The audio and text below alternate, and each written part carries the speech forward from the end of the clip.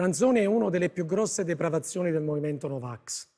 E, Cosa ehm, intende per depravazione? Depravazioni, se pensiamo che quest'uomo dovrebbe rappresentare un partito politico, addirittura candidarsi, non c'è che da vergognarsi, tra l'altro nel silenzio assoluto dei Novax, anche della dottoressa. Io la ricordo benissimo la dottoressa quando si è affacciata al mondo Novax.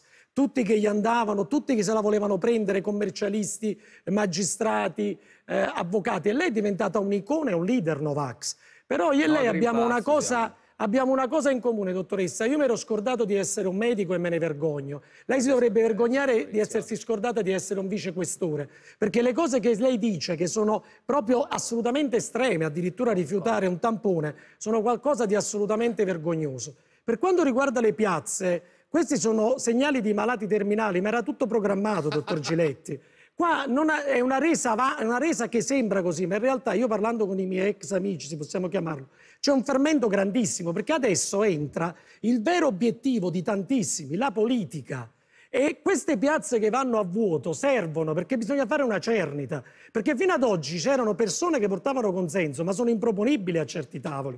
I famosi Covid party di cui dicevamo non sono più dove si va per andarsi ad infettare, adesso sono prima di tutto a pagamento, perché la politica costa, e poi soprattutto sta nascendo un network. Io le voglio dire questo. Arrivo, Schilirò, arrivo. È l'ultima cosa che network. dico ho in questo momento un network. un network, cioè un network dei Novax, che molti sottovalutano in questo momento la realtà collaterale, l'economia collaterale, tutta contro legge, avallata da gente anche come la dottoressa Schillirò, è fortissima, meno appariscente ma fortissima. Non vi fate ingannare, questo era tutto programmato. Adesso l'obiettivo sono le elezioni. Dottoressa Schillirò,